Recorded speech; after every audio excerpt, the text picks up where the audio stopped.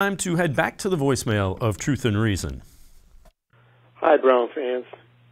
Here's some truth and reason about Odell Beckham. The sports fans have pretty much focused on what's happening on the field, but they should take a look at the management. You have to recognize that Odell Beckham wasn't brought in by the current uh, general manager.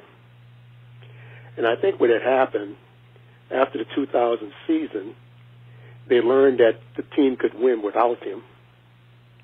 The lack of targets and the lack of uh, play in this season was pretty much done to to make sure he was healthy because they made a decision to deal him. It has nothing to do with Baker Mayfield. The whole play scheme was to keep him healthy, and so they will be able to deal him. The real tragedy in the thing is that uh, he is a good player, and the Browns gave up so much to acquire him, and in the end, they got nothing in return. Just, just my thoughts. All right, and again, appreciate the voicemails. Uh, the only thing I would say is uh, it doesn't make sense not to throw him the ball if you plan on playing him because his stats are going to be down for the second year in a row. So, so I, I don't understand that thought process. The other thing I'll say is Andrew Berry was pretty good about not being your guy, my guy, this guy, that guy. He was when he took over. You know, he, he knew he was taking over the Browns, and they were the Browns. It wasn't John Dorsey's Browns versus his Browns. Um, for whatever reason, nobody can figure out why it didn't work in this offense for Odell Beckham, but it didn't. Right, and that's I I hate to be like, oh, it's as simple as it it just didn't it didn't work. It just didn't work. Like I don't I from a football standpoint, I've tried to break this down as much as I possibly can. I don't have a I don't have an answer.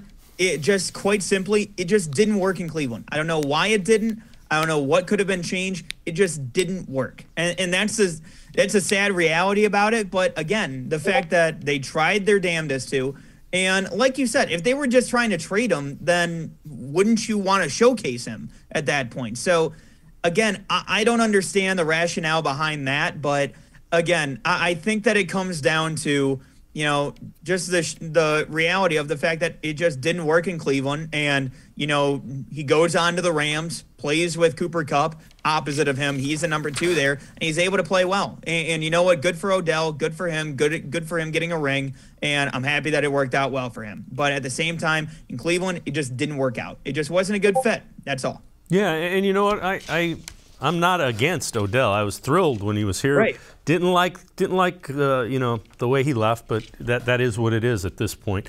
Um, here's here's a bigger concern globally. Browns need a receiver. It didn't work out for Odell. If you're a number one receiver, uh, you're going to be a little leery of coming into this offense. I think, don't you? Yeah, and to be honest, that's also why I look at you know free agency and think when people are saying, "Oh, well, you can get your number one option out there," or you know, you can go ahead and trade for this guy. No veteran receiver is going to willingly choose to go into this offense after what happened this past season. I, that's just the, that's just reality there. But that's also why, again, I look at drafting, and not only does it make sense contractually, but also makes sense because, again, you're bringing somebody in who not only are you choosing to bring into this offense, but it also doesn't really matter at that point whether or not you know the the fit, at least on their standpoint, really matters. I, I think that you know I, I look at how the team views them. That's fine. They can bring him in great. But you're not willing. You're not trying to court him in, into coming into Cleveland. At that point, it's just selecting him and moving on with the team as is. So that's where I think that again, you you got to go and get your number one in the draft. I think that's that's not a that's not a debate. You have to go ahead and get your number one in the draft, and at that point, then you're set.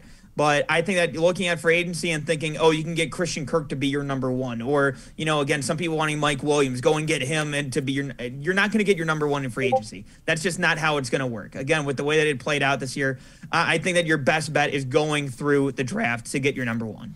Yeah, kind of turned the phrase that uh, Mike Tomlin had when he released Melvin Ingram. Uh, we need hostages because it doesn't look like we're going to get many volunteers to play wide receiver um, in this offense. Mac